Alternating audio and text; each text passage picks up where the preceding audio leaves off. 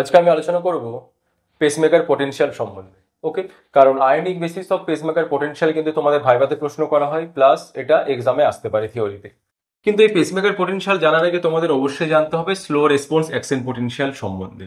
এবং slow response action পোটেনশিয়ালটা তখনই বুঝতে পারবে যদি তোমরা আগের ক্লাসে আমি পড়িয়েছিলাম ফার্স্ট রেসপন্স অ্যাকশন পোটেনশিয়াল সম্বন্ধে। সেটা যদি ক্লাসটা করে থাকো, তাহলে আজকের ক্লাসটা তোমাদের ক্ষেত্রে ইজি মনে হবে। তো সেই ফার্স্ট রেসপন্স এক্সেন পোটেনশিয়াল আমরা কি জেনেছিলাম?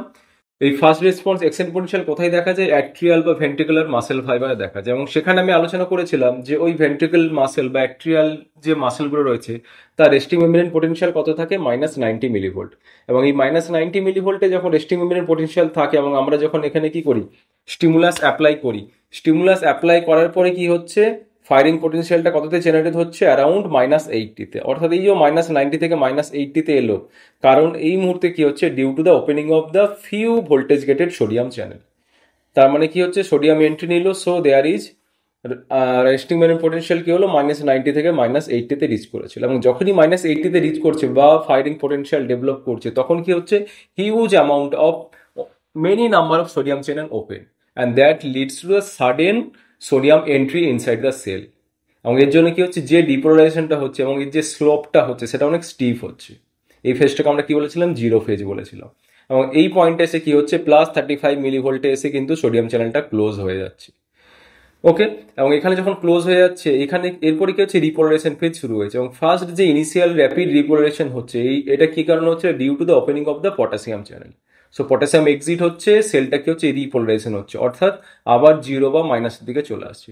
এবং এই এখানে যখন পটাশিয়াম এক্সিট হচ্ছে র্যাপিড রিপোলারেশন হচ্ছে বাট এই পয়েন্টটাতে এসে ফেজ টুতে এসে কি হচ্ছে ক্যালসিয়ামের এন্ট্রি হচ্ছিল। সো ক্যালসিয়াম এন্ট্রি হচ্ছিল বলে কি হচ্ছিল?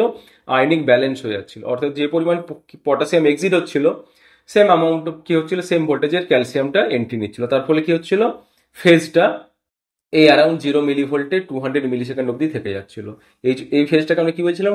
ফেজ টু বলছিলাম ওকে এবং তারপরে কি হচ্ছিল? যখনই এই ক্যালসিয়াম এন্ট্রিটা বন্ধ হয়ে যাচ্ছিল দেন পটাশিয়াম এক্সিট তো হচ্ছিল কন্টিনিউ দেন পটাশিয়াম এক্সিটের জন্য কি হচ্ছিল? র্যাপিড পটাশিয়াম এক্সিটের জন্য কি হচ্ছিল? র্যাপিড রিপোলারেশন হচ্ছে। এই ফেজটাকে আমরা বলেছিলাম ফেজ থ্রি এবং ফেজ ফোরে কি হয়েছিল? ফেজ ফোরে যেটা হয়েছিল, এই যে অ্যাকশন পটেন্সিয়াল জেনারেট হলো, তার জন্য যে আয়নিকের ডিসব্যালেন্স হয়েছিল, অর্থাৎ সোডিয়ামের এন্ট্রি নিয়েছিল পটাশিয়াম এক্সিট হয়ে গেছিল ক্যালসিয়াম এন্ট্রি নিয়েছিল এইভাবে কি হয়েছিল? আয়নিকের ডিসব্যালেন্স হয়েছিল। এই আয়নটা যাতে আবার রিস্টোর হয়ে যায়। কীভাবে রিস্টোর হয়? এখানে কি ছিল? সোডিয়াম পটাশিয়াম পাম্প কি করছিল? সোডিয়ামটাকে ইনসাইডের যে সোডিয়াম ছিল, সেটা বাইরে নিয়ে যাচ্ছিল এবং বাইরের যে পটাশিয়াম ছিল, সেটা আবার ইনসাইডে নিয়ে আসছিল। এবং এখানে কি ছিল? আমার সোডিয়াম ক্যালসিয়াম এক্সচেঞ্জার যে এই এক্সচেঞ্জার দিয়ে করে, যে ক্যালসিয়ামের এখানে কি হচ্ছিল? এন্ট্রি হয়েছিল, সেই ক্যালসিয়ামটাকে রিলিজ করে দিয়েছিল। এটা আমি সংক্ষেপে বললাম, কি সম্বন্ধে? ফার্স্ট রেসপন্স অ্যাকশন পোটেনশিয়াল সম্বন্ধে। তাহলে এটা যদি ফার্স্ট রেসপন্স অ্যাকশন পোটেনশিয়াল হয়, তাহলে স্লো রেসপন্স অ্যাকশন পোটেনশিয়াল কোথায় হয় সেটা তোমাদের জানতে হবে। স্লো রেসপন্স অ্যাকশন পোটেনশিয়াল হয় লোকেশন হচ্ছে এস এ নোড এবং এভি নোড এবং পার্কিনজি ফাইবারও হয়।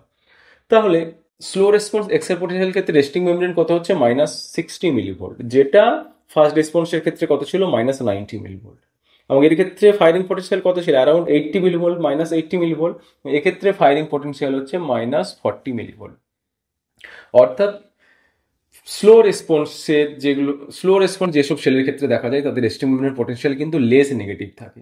এবং এই লেস নেগেটিভের জন্য কি হয়? ফার্স্ট সোডিয়াম চ্যানেল আর ইনঅ্যাক্টিভেটেড অর্থাৎ এখানে এগুলো কি সোডিয়াম চ্যানেল এগুলো পটাশিয়াম চ্যানেল এগুলো ক্যালসিয়াম চ্যানেল এই রেস্টিং মেমব্রেন পোটেনশিয়াল যেহেতু মাইনাস নাইনটির থেকে অনেকটাই কম থাকে, ওই জন্য কি হচ্ছে? এই যে ফার্স্ট সোডিয়াম চ্যানেলগুলো থাকে, সেগুলো কি হয়? ইনঅ্যাক্টিভ থাকে। অর্থাৎ এই চ্যানেল দিয়ে সোডিয়াম প্রবেশ এন্ট্রি করবে না। ওটা বোঝা গেছে।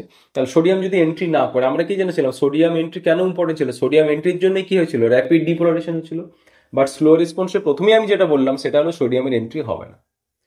ওকে তাহলে সোডিয়ামের এন্ট্রি যদি না হয়, তাহলে আর এন্ট্রি কোথায় ছিল? মাইনাস সিক্সটি মিলি ভোল্টে ছিল। ওকে সিক্সটি মিলি ভোল্টে তুমি কি করলে? স্টিমুলাস অ্যাপ্লাই করেছ। স্টিমুলাস অ্যাপ্লাই করতে ফায়ারিং পোটেন্সিয়াল কত গেছে? মাইনাস ফর্টিতে এই পয়েন্টে এসেছে আমার ফায়ারিং পোটেন্সিয়াল তাহলে ফায়ারিং পোটেন্সিয়াল হয়েছে, এখানেও ফায়ারিং পোটেন্সিয়াল ডেভেলপ করেছিল, এখানে ফায়ারিং পোটেন্সিয়াল ডেভেলপ করার পরে কি হয়েছিল? Huge number of sodium channel open হয়েছিল বাট এখানে তো সোডিয়াম চ্যানেল ইনঅ্যাক্টিভেটেড রয়েছে, তাহলে এখানে ডিপোলারেশন হচ্ছে, তার মানে সোডিয়াম বাদ দিয়ে আদার কোনো পজিটিভ আয়নের এখানে এন্ট্রি হচ্ছে তাহলে এখানে পজিটিভ আয়নের কত থেকে এন্ট্রি নেবে? এখানে ক্যালসিয়াম চ্যানেল রয়েছে, অর্থাৎ এখানে ক্যালসিয়াম চ্যানেলের এন্ট্রি হবে।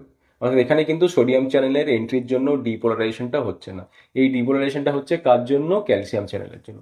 তাহলে ফার্স্ট যে ফেজটা পাবো ফেজটার নাম আমরা কি বলব? ফেজ জিরো এখানে এই ফেজটা পেয়েছিলাম ফেজ জিরো এখানে এই যে ফেজটা পাচ্ছি, এই ফেজটা এই ফেজটা হলো ফেজ জিরো এই ফেজটা আরেকটা নাম কি? Depolarization or slow rising upstroke depolarization তো হচ্ছে, কিন্তু এই যে আপস্ট্রোকটা হচ্ছে, সেটা হলো স্লো রাইজিং সেটা কিন্তু স্টিপ হচ্ছে না। কজটা কি? এভাবে পয়েন্ট ওয়াইজ করে বলবে এখানে আমি কনসেপচুয়ালও আলোচনা করব বাট শর্ট নোট বা এক্সামে এলে ঠিক এইভাবে পয়েন্ট করে লিখবে। তোমরা জানো হয়তো অনেক, কিন্তু লেখার পরেও ভালো নাম্বার পাও না কারণ তোমরা পয়েন্ট ওয়াইজে লেখো না। যেভাবে পয়েন্ট লিখছি পয়েন্ট ওয়াইজই লিখবে ওকে তাহলে দেখো কজ কি বলছে? ফেজ জিরোর cause due to the calcium entry calcium এন্ট্রিটা mention করতে হবে, এগুলো সব ক্যালসিয়াম চ্যানেল যার মধ্যে দিয়ে কি হচ্ছে? ক্যালসিয়ামের এন্ট্রি হচ্ছে okay due to the calcium entry via slow L type or long lasting calcium channel তাহলে এটা হলো আমার L type calcium channel L type তাহলে এই এল টাইপ ক্যালসিয়াম চ্যানেল দিয়ে কি হচ্ছে? ক্যালসিয়ামের এন্ট্রি হচ্ছে। তাহলে যেই ক্যালসিয়ামের এন্ট্রি হয়ে গেল, কি হলো আমার? ডিপোলারাইজেশন হচ্ছে। এবং এটা কি হচ্ছে? স্লো রাইজিং আপস্ট্রোক হচ্ছে। ওকে র্যাপিড কিন্তু হচ্ছে না। যেটা এখানে আমি র্যাপিড পেয়েছিলাম। এবং তাহলে দেখো স্লপটা কি হচ্ছে? Slope is slanted slanted slope হচ্ছে। স্টিপ তো হচ্ছে না। ওকে এবং এই যে র্যাপিড এই যে ডিপোলারেশনটা হলো, এটা কি হচ্ছে? দেখতে অনেক টাইম লাগছে। Upstroke duration is hundred millisecond compare to one millisecond অর্থাৎ এখানে যেটা হয়েছিল ডিপোলারেশন এটা ওয়ান মিলি সেকেন্ডের মধ্যেই হয়েছিল। বাট এখানে যে ডিপোলারেশনটা আছে সেটার টাইম কত লাগছে? হান্ড্রেড মিলি সেকেন্ড এটা বুঝতে পেরে গেছে?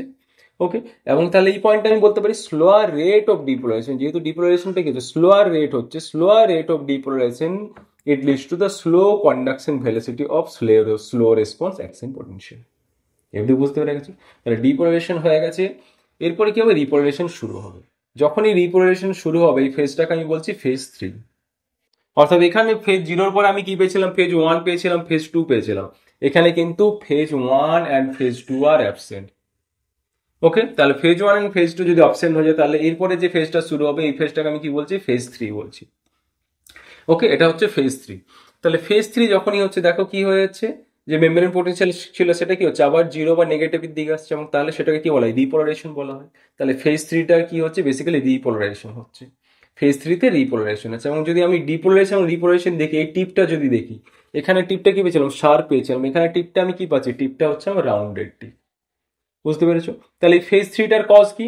ফেজ থ্রিটার কজ হচ্ছে due to the closure of the calcium channel এই যে ক্যালসিয়াম চ্যানেল দিয়ে ক্যালসিয়াম এন্ট্রি নিচ্ছিল, যার জন্য ডিপোলারেশন হচ্ছিল, সেই ক্যালসিয়ামটা যদি এন্ট্রি যদি বন্ধ হয়ে যায়, তাহলে কি হবে? এত ডিপোলারেশন হবে না। অর্থাৎ আর কোনো পজিটিভ আয়ন সেলের ভেতরে এন্ট্রি নিচ্ছে না। ওকে এবং তার সাথে হচ্ছে opening of the potassium channel এরপরে কি হচ্ছে? অর্থাৎ এই ফেজ থেকে পটাশিয়াম চ্যানেল ওপেন হয়ে গেছে। তাহলে পটাশিয়াম চ্যানেল যদি ওপেন হয়ে যায়, তাহলে কি হবে? পটাশিয়াম বেরিয়ে যাবে।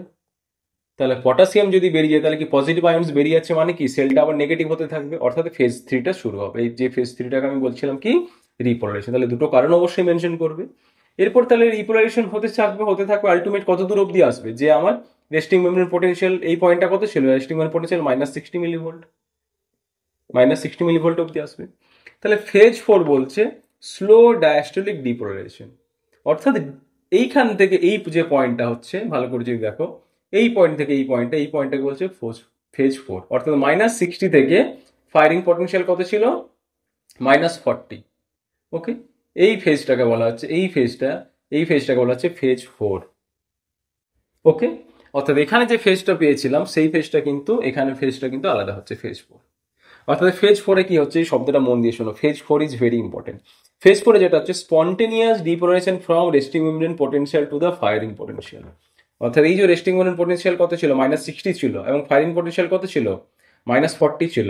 এই মাইনাস সিক্সটি থেকে মাইনাস ফর্টি অব্দি রিচটা কিন্তু স্পন্টেনিয়াসলি হচ্ছে। এখানে কে হচ্ছিল একবার অ্যাকশন একবার আমি স্টিমুলাস দিলাম অ্যাকশন পোটেনশিয়াল জেনারেট হলো। আবার আমি স্টিমুলাস দিলাম, আবার অ্যাকশন পোটেনশিয়াল জেনারেট হবে। আবার স্টিমুলাস দেবো, আবার অ্যাকশন পোটেনশিয়াল জেনারেটেড হবে।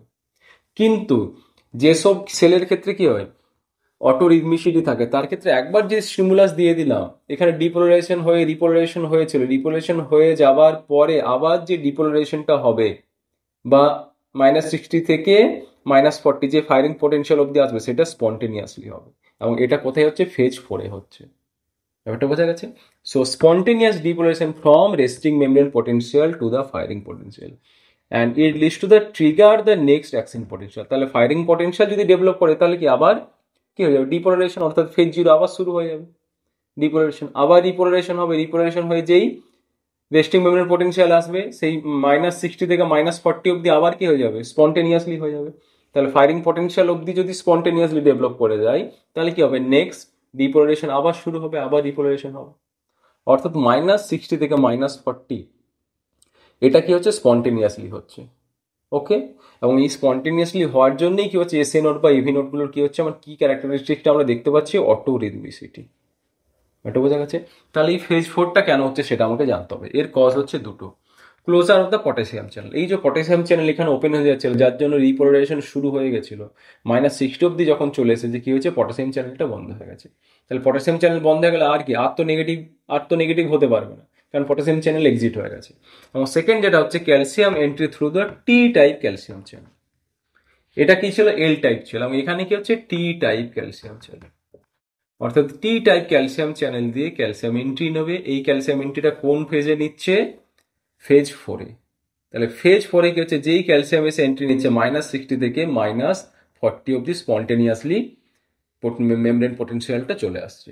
এবং যেই মাইনাস ফর্টিতে চলে আসছে ফায়ারিং পোটেন্সিয়াল ডেভেলপ করে গেছে দেন তো next action potential next depolarization শুরু হয়ে যাবে। ওটা বোঝা গেছে?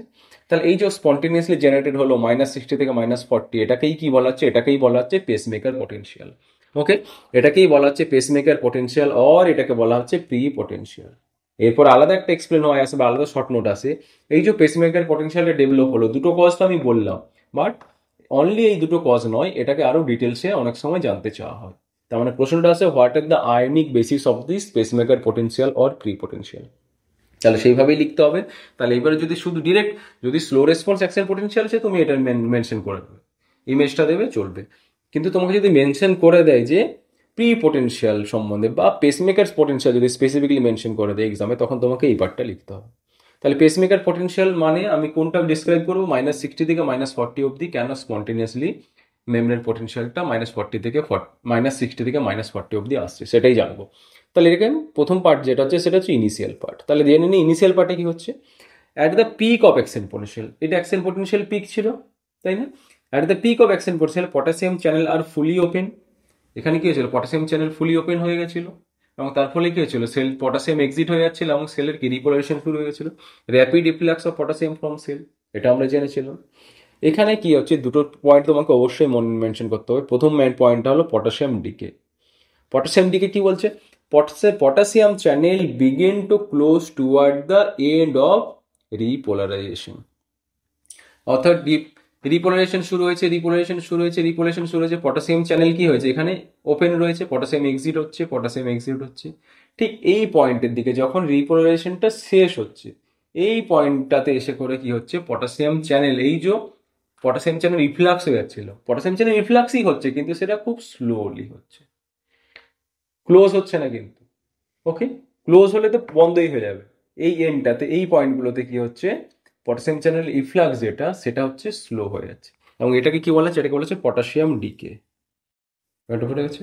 কখন হচ্ছে? When membrane potassium reach around minus fifty millivolt তাহলে পটাশিয়াম মেমব্রেন পটাশিয়াম ডিক্রিজ করতে করতে এখানে কি মাইনাস সিক্সটি যখন মাইনাস ফিফটিতে এসেছিল মাইনাস ফিফটি থেকে সিক্সটি এই পয়েন্টটা থেকে হয়েছিল? পটাশিয়াম চ্যানেলটা স্লো হয়ে গেছিল। অর্থাৎ পটাশিয়াম যে ইফ্লাক্সটা হচ্ছিল, সেটা কম হচ্ছিল। এই পয়েন্টটা জানলে। এরপর হচ্ছে opening of the funny channel opening of funny channel এটা অবশ্যই মেনশন করতে হবে। কি funny channel sodium ions enter through the sodium channel during depolarization অর্থাৎ এরপরে কি হচ্ছে? যখন এই পয়েন্টে চলে এসেছে, এইখানে হচ্ছে সোডিয়ামের এন্ট্রি নেবে। এটা কিন্তু নন স্পেসিফিক কিছু সোডিয়াম চ্যানেল আছে, যেটা থেকে করে সোডিয়াম এন্ট্রি নেবে। ওকে তাহলে এরপরে এইখানে সোডিয়াম এন্ট্রি নেওয়া শুরু হয়েছে। এটা বোঝা গেছে? তাহলে সোডিয়াম যদি এন্ট্রি নেওয়া শুরু হয় ডেফিনেটলি কি হবে? পজিটিভ আয়ন আসছে। তাহলে পজিটিভ আয়ন যদি আসে, তাহলে কি মাইনাস সিক্সটি থেকে সেটা minus fifty eight minus fifty six minus fifty five এইভাবে আস্তে আস্তে ডিপোলারেশনের দিকে যেতে থাকবে। ওটা বোঝা গেছে? দেখো কি বলছে cation entry into the cell could have been balanced by the potassium reflex এখন এখানে প্রশ্ন হচ্ছে সোডিয়াম এন্ট্রি নিচ্ছে পটাশিয়াম রিফ্লাক্স হচ্ছে, তাহলে তো একটা ব্যালেন্সে থাকার কথা ছিল। সোডিয়াম এন্ট্রি নেওয়ার পরে কেন এটা পজিটিভের দিকে চলে যাচ্ছে? কারণ ছিল, এই যে পটাশিয়ামটা রিফ্লাক্স হচ্ছিল পটাশিয়াম রিফ্লাক্সটা কি হয়েছিল? স্লো ডাউন হয়ে গেছিল। তার ফলে পটাশিয়াম রিফ্লাক্সটা স্লো ডাউন হওয়ার ফলে সোডিয়াম তো এন্ট্রি নিচ্ছিল, কিন্তু মেমব্রেন পটেনশিয়ালটা আমার পজিটিভের দিকে চলে যাচ্ছিল। পয়েন্টটা শুনলে মন দিয়ে। তারপর হচ্ছে লেটার পার্ট লেটার পার্টে কি হচ্ছে? এরপরে opening of the transient calcium channel এই লেটার পার্টে কি হচ্ছে? এই দিকটা লেটার পার্ট মেমব্রেন পটেনশিয়ালের এই পার্ট ইনিশিয়াল পার্টে তো এই ইনসিডেন্টগুলো ঘটলো আমি জানলাম তাহলে এই পার্টটাতে লেটার পার্টটাতে কি হচ্ছে ক্যালসিয়াম চ্যানেল ওপেন হচ্ছে, T type or transient time calcium channel open হচ্ছে। তাহলে ক্যালসিয়াম চ্যানেল যদি ওপেনিং হয়, তাহলে মাইনাস সিক্সটি থেকে মাইনাস ফিফটি যে কার জন্য এসেছিল? সোডিয়ামের জন্য এসেছিল নন স্পেসিফিক সোডিয়াম চ্যানেল দিয়ে সোডিয়াম এসেছিল, বা ফানি চ্যানেল দিয়ে সোডিয়ামটা এসেছিল। এবং তার সাথে কি হলো? টি টাইপ দিয়ে ক্যালসিয়ামটা আবার এসেছে। তাহলে ক্যালসিয়াম যদি এন্ট্রি নেয়, তাহলে কি হবে? এই মেমব্রেন পটেনশিয়াল এরপর কি অবধি চলে আসবে? ফায়ারিং প্যাটার্ন পটেনশিয়াল অবধি ডেভেলপ করবে। দেখো opening of the transit calcium channel okay তাহলে ক্যালসিয়াম চ্যানেল যদি একবার টান, ক্যালসিয়াম যদি এই টি টাইপ ক্যালসিয়াম চ্যানেল দিয়ে যদি চলে আসে, এবং সেটা যদি মাইনাস সিক্সটি থেকে মাইনাস কি বলেছিলাম ফর্টি অবধি যদি মেমব্রেন পটেনশিয়ালটা চলে আসে, এবং ফর্টি অবধি চলে গেলে কি হয়ে যাবে? ফায়ারিং পটেনশিয়াল ডেভেলপ করবে, এবং ফায়ারিং পটেনশিয়াল ডেভেলপ করলে এল টাইপ ক্যালসিয়াম চ্যানেল দিয়ে ক্যালসিয়াম এন্ট্রি নেবে। অর্থাৎ ফেজ জিরো আবার শুরু হবে, এবং এটা কন্টিনিউ হতেই থাকবে। অর্থাৎ একবার স্টিমুলাস দেওয়ার পরে কন্টিনিউ কিন্তু এইভাবে অ্যাকশন পটেনশিয়াল জেনারেটেড হতে থাকবে। এবং এইভাবে কি এটাই তো ফাংশন ছিল আমার এসে নোড এবং এভি নোড তাই না? অটো রিদমিসিটি হচ্ছে। এর ফলে আলাদা একটা পয়েন্ট মেনশন করতে আদার আয়ন আদার কিছু কিছু আয়নস রয়েছে like calcium release from the sarcoplasmic reticulum অর্থাৎ এখানে যে সার্কোপ্লাজমিক রেটিকুলাম রয়েছে সেলের ভেতরে, এখানে কি রয়েছে? ক্যালসিয়াম রয়েছে। এই সার্কোপ্লাজমিক রেটিকুলাম থেকেও কি হবে? ক্যালসিয়াম রিলিজ হবে যেটা বলেছে ক্যালসিয়াম স্পার্ক এই ক্যালসিয়ামটা কোন পয়েন্টে আসে? এই যে আমার মেমব্রেন যে আমার যে অ্যাকসেন্ট পটেনশিয়াল ডেভেলপ করছিল ফেজ ফোরে আমার যে সরি পেসমেকার পটেনশিয়াল ডেভেলপ করছিল ফেজ ফোরে এখানে আবার কি আছে? সার্কোপ্লাজমিক রেটিকুলাম থেকেও ক্যালসিয়াম আসে। ওটা বোঝা গেছে? ওকে এরপরে জানব, তাহলে ভেগাল স্টিমুলাস এবং সিম্পেথিক স্টিমুলাসের উপরে কি কোনো রিলেশন রয়েছে? ডেফিনেট একটা একটা তো হার্ট রেটের রিলেশন হয়েছে, কিন্তু সেটা কীভাবে ফাংশন করে সেটাই থাকব যখনই আমরা ভ্যাগাল স্টিমুলাস দিই কি হচ্ছে flatten the slope of the pacemaker potential এই যে পেসমেকার পটেনশিয়ালের যে স্লোপটা রয়েছে পেসমেকার যে পটেনশিয়াল এটা কি ছিল? এই পয়েন্টটা ছিল পেসমেকার পটেনশিয়াল এটা পেসমেকার পটেনশিয়াল এটা পেসমেকার পটেনশিয়াল এই পেসমেকার পটেনশিয়ালে কি হয়? স্লপ যেটা হয় যে আমার স্লপ যেটা রয়েছে সেটা কি ফ্ল্যাট করে দেয়। সেটা এই টাইপের হয়ে যায়। সেটা কি হয়ে যায়? মোর একটু ফ্ল্যাট হয়ে যায়। এটা ফ্ল্যাট হয়ে যায়। তাহলে মোর যদি ফ্ল্যাট হয়ে যায়, তাহলে কি ডিপোলারেশনটা কীরকম হবে? এইরকম হবে। ডিপোলারেশনটা কীরকম হবে? এইরকম হবে। ডিপোলারেশনটা এইভাবে হবে। ওকে অর্থাৎ ডিপোলারেশনটা যদি এইভাবে ডেভেলপ হয়ে যাচ্ছে তখন কি আছে? ডেফিনেটলি ডিপোলারেশনটা অ্যাকসেন্ট পটেনশিয়ালটা স্লোলি ডেভেলপ করছে। এবং স্লোলি ডেভেলপ করছে মানে হার্ট রেটটা কি হবে? ডিক্রিজ করবে। এবং সিম্প্যাথেটিক স্টিমুলেশনের ক্ষেত্রে কি হচ্ছে? এই যে স্লপটা তৈরি হচ্ছিল, এই স্লপটা এই যে স্লপটা তৈরি হচ্ছিল, এটা হচ্ছে মোর স্টিফ হয়ে যায়। নর্মালি তো এরকম থাকার কথা। নর্মালি এরকম থাকার কথা, ভ্যাগাল স্টিমুলাস এরকম থাকার কথা, এবং সিম্পেথিক স্টিমুলাস একটু স্টিফ হয়ে যায়। তাহলে স্টিফ যদি হয়, তাহলে এখান থেকে কি হবে আমার? এরপর ডিপোলারেশন ডিপোলারেশন হবে। ওকে এবং এটা যদি এখানে চলে আসে, তাহলে কি হবে? এখান থেকে ডিপোলারেশন মানে এইভাবে ডিপোলারেশন ডিপোলারেশন হবে। ডিপোলারেশন ডিপোলারেশন হবে। ওকে অর্থাৎ সিম্পেথেটিক যদি স্টিমুলেশন দিই তাহলে কি হবে? স্লপটা যেহেতু স্টিফ হয়ে যাচ্ছে এবং স্লপটা স্টিফ হয়ে যাওয়ার জন্য কি হচ্ছে? হার্ট রেটটা ইনক্রিজ করছে। তাহলে এই এফেক্টটা আমরা জানলাম। ওকে তাহলে মোটামুটি আমরা ভাইবাতে যদি প্রশ্ন করা হয় তোমরাও সেটা অ্যান্সার দিতে পারবে এবং যদি এক্সামে আসে কীভাবে পয়েন্ট করে লিখতে হবে, সেটাও আমি আলোচনা করলাম ওকে তাহলে আজকে আমরা জানলাম ফেস মেকার পোটেনশিয়াল সম্বন্ধে এবং স্লো রেসপন্স অ্যাকশন পোটেনশিয়াল সম্বন্ধে ওকে চলো থ্যাংক ইউ